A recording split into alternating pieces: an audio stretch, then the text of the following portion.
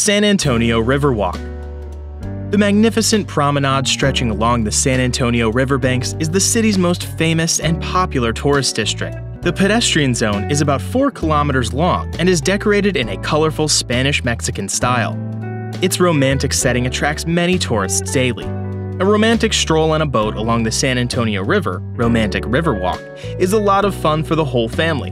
In the evening, the lights come on and the cafes play live music.